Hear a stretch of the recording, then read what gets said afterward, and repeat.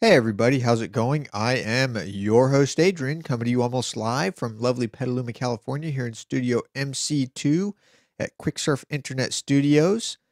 The Geekinator is a proud member of the Tech Podcast Network. If it's tech, it's here. Do feel free to head on over to techpodcast.com. Check out all the other technology related shows over there as well. I'd like to encourage everybody to visit us online over at quicksurf.com. Please do subscribe to the show if you have not already done so. And uh, with that, let's go ahead and get into the stories for this episode. Starting off over at Engadget, Sony is offering up a Pro 4K camcorder for $6,500. It's the PXW Z100. It comes with 10 bit video encoding, pretty awesome, and 600 megabits per second video.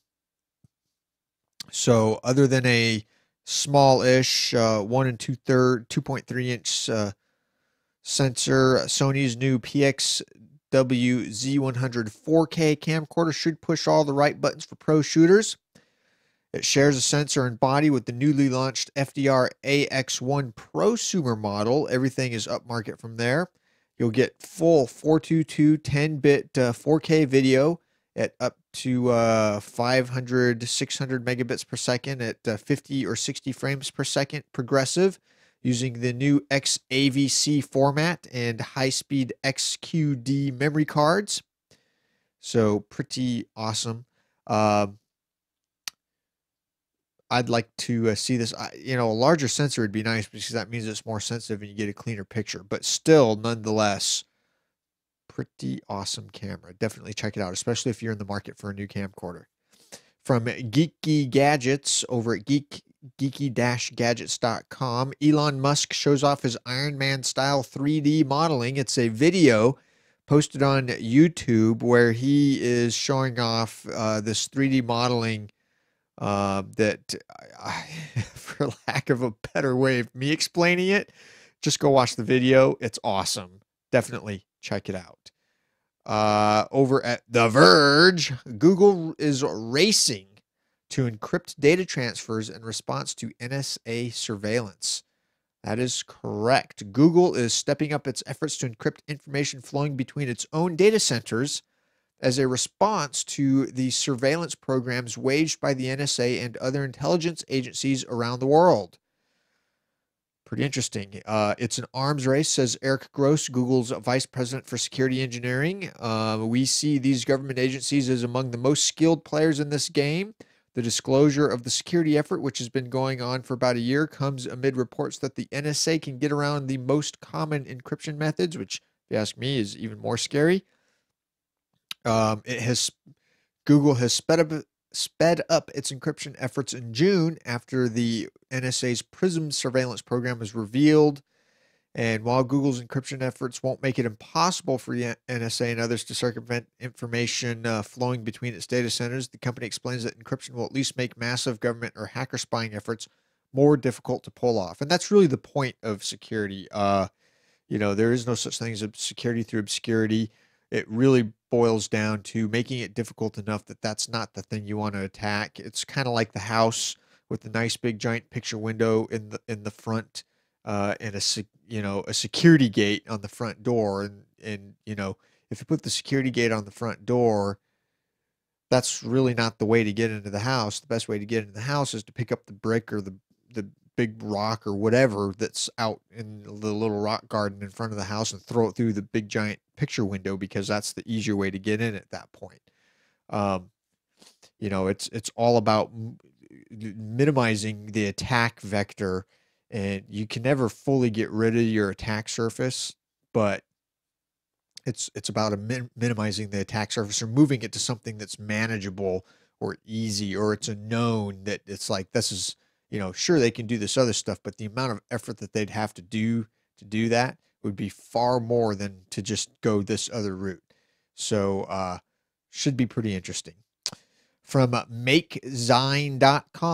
there's a uh, story posted here component of the month relays. That's right. Each month, we're, uh, Make is exploring a different electronic component, delving into what it is, how it works, and how you use it in projects.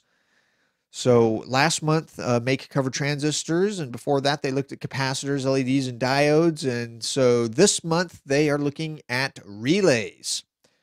So they're uh, uh, starting off with an introduction uh, to the component, and I thought it would be interesting to share with everybody here since uh, you know I'm a, kind of a DIY uh, kind of a DIY tinkerer, if you will. So uh, definitely give this a check out. The relays are very handy and very useful. From Electronista, Gadgets for Geeks, EFF wins a Freedom of Information Act lawsuit against the NSA. Hundreds of docs will be released. This is pretty awesome. Uh, they're forcing the agency to make public hundreds of pages of documents. The activist group uh, requested material relevant to the government's previously secret interpretation of Section 215 of the Patriot Act, which, which covers collection of tangible things related to investigations. So, uh, should be pretty interesting uh, to see uh, what gets released. I'll be keeping an eye on that, and we'll talk about it as it becomes publicly available from MakeZine again, My Eagle project using Raspberry Pi to deliver education to Afghan schools. I thought this was an interesting story to share simply because uh, it's education related and it's Raspberry Pi.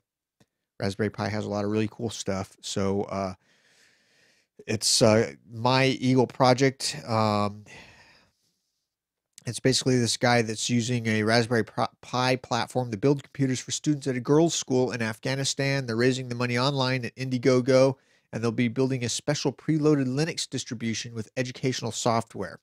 Trust in Education, a nonprofit aid group, will be setting up a computer lab with the Pi-based computer. So this is pretty neat. I uh, would definitely be looking forward to see uh, what comes of this. Uh, from Hack a PC rig that belongs on the wall of an art museum. I thought this was just plain downright awesome. This guy built this PC and it is probably the one one of the most beautiful PCs I've I mean this thing deserves to be mounted on a wall. It's that pretty. It's I don't have any better way of describing it. Uh, when Overclock.net user uh, Show4 Pro decided to upgrade his old dusty rig, he eschewed the conventional PC form factor and, and instead built an incredibly sexy custom wall mounted case. The six sticks of RAM, quad HDD slash SSDs, and dual Radeon HD 7970s are enough to make all but the most hardcore gamer blush but that was the only the beginning there. He uh, using a Dremel tool, he cut the frame from a piece of hard board and coated it with a mock carbon fiber vinyl sheet. And uh, that backdrop acts to, uh, to both hide all the cables and provide structural support to the components um, then he's got some custom light guides cut from the acrylic sheet. They're backlit with LEDs and serves as the border for each of the components. I, this it, it, looks gorgeous. It's beautiful. You have to check this out. Definitely, uh, they've got pictures online. Definitely go take a look at it, and uh, if you like it, let them know. That will do it for this edition of the Geekinator. As always, everything we've talked about is linked up in the show notes. You can find those online over at quicksurf.com. And with that, I will see all of you on the next episode. Thanks for watching and listening, and please uh, subscribe if you haven't already done so. Thank you.